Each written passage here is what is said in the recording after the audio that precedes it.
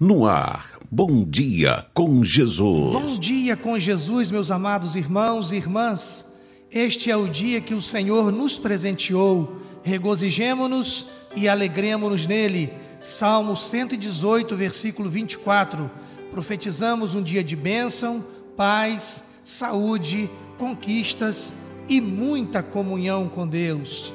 Para nossa meditação, vamos ler a palavra de Deus em Lucas capítulo 2, versículos 25 a 32, que diz: Havia em Jerusalém um homem chamado Simeão, homem este justo e piedoso, que esperava a consolação de Israel, e o Espírito Santo estava sobre ele. Revelara-lhe o Espírito Santo que não passaria pela morte antes de ver o Cristo do Senhor.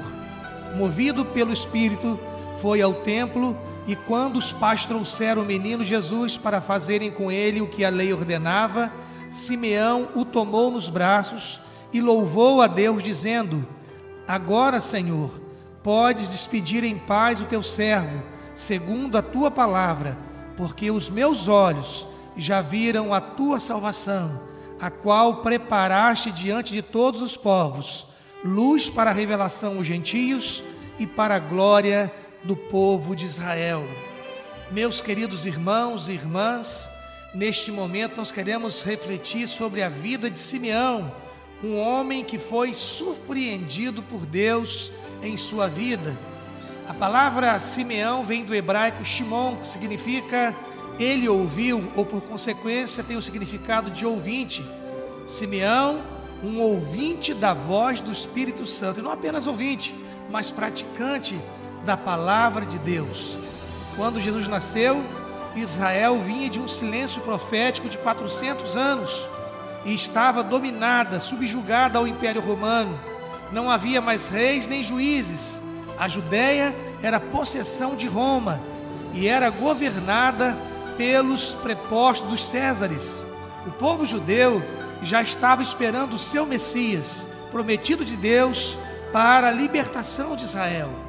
Mas as autoridades espirituais de Israel confundiram tudo e esperaram por um novo libertador que fosse resgatar Israel não de seus pecados, mas do domínio romano, uma mistura dos melhores momentos de Davi e de Moisés.